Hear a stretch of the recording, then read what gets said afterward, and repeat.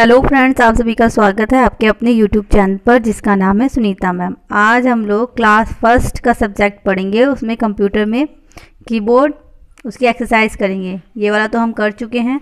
अब आएँगे हम टिक द ऑप्शंस पर। Take the option space bar is use to insert blank dash between two letters और word space bar की बताई थी सबसे लॉन्गेस्ट की होती है कीबोर्ड पर। इसको हम यूज़ करते हैं बीच में दो लेटर्स के बीच में लेटर्स या वर्ड्स के बीच में स्पेस देने के लिए या गैप देने के लिए। जैसे इसमें दे रखा ऑप्शन हम लोगों को सिंबल टैक्स स्पेस तो सिंबल नहीं करती टैक्स नहीं करती, लिखती नहीं है स्पेस देती है। तो space is the right answer cursor control keys are use to move the cursor up and down, up and down और राइट एंड लेफ़्ट इसलिए यूज़ होती है। इसके ऑप्शंस भी देख लेते हैं दोस्तों हम, जैसे ऑप्शन है up and down left and right both होती है तो इसको ऑप्शन में both A and B both A and B से लिखा dash keys are use to erase what we have type type करने, टाइप कर जो हम होता है उसको इरेज इरेज यानी मिटोने के लिए। मिटोने के लिए हम किस चीज़ का यूज़ करते हैं? बैक स्पेस डिलीट की। इसमें बैक स्पेस होता है, राइट टू लेफ़्ट डिलीट करती है और ये लेफ़्ट टू राइट डिलीट करती है। तो दोनों ही का काम क्या है? मिटोना, इरेज करना। इसीलिए इसका आंसर क्या हो जाएगा? Both A and B. अब हम लोग करेंगे fill the blanks. With the correct word. इसके ऑप्शन दे रखे हैं। पहला ऑप्शन है space bar, delete, typing, number, arrow. First pressing the keys of a keyboard to write on the computer is called pressing करना यानी कंप्यूटर को दबाना कंप्यूटर की कीज को दबाना लिखने के लिए ऑन द कंप्यूटर क्या कहलाता है? Typing T Y P I N G typing dash keys are also known as numeric keys मैंने बताया था नंबर कीज को ही नुमेरिक कीज कहते हैं। नंबर कीज फ़र्स्ट ये सेकंड ये dash is used to insert blank space between two letter और word blank space space देने के लिए इसको करते हैं? Space bar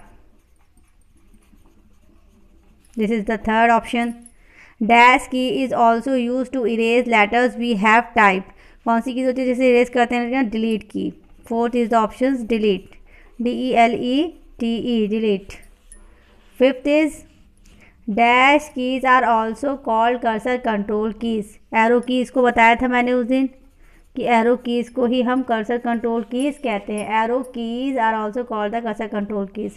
Write true and false for against each statement.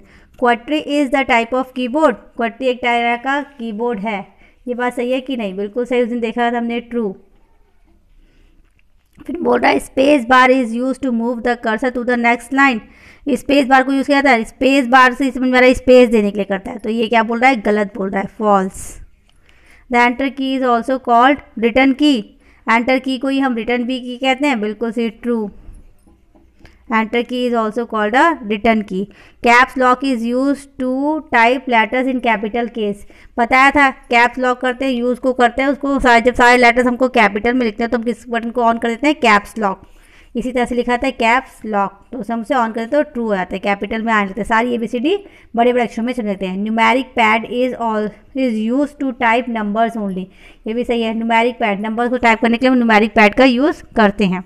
फिर find fill in the missing letters to complete the names जैसे की dash Y dash dash dash B R तो क्या जाएगा K E Y key B O A R D board keyboard ऐसे next है हमारे पास नंबर नेक्स्ट है N dash dash B dash R तो क्या होगा? N U M B E R number ये क्या? E dash T dash R E N T E R enter dash dash क्या हो जाएगा? Compute space bar, S P A, C, E, space, B, A, R, bar, space bar, ये क्या है? QWERTY Q, W, E, R, T, Y QWERTY अब हम इसके question answer देखेंगे, लॉन्ग क्वेश्चन आंसर्स। जैसे which key is use to move cursor to the next line तो उसके लिए क्या करते हैं कैसर को दूसरी लाइन पहुँचाने के लिए हम एंटर की का यूज़ करते हैं। एंटर की इसका आंसर इतना सही एंटर की बाकी क्वेश्चन से उतार देंगे is used to move the cursor to the next line write the name of the longest key बताया था space bar is the longest key how many keys are found on the keyboard keyboard पर कितनी keys found होती हैं? तो कितनी enter keys how many how many या question कर तो क्या दोस्तों सॉरी एंटर आएगा।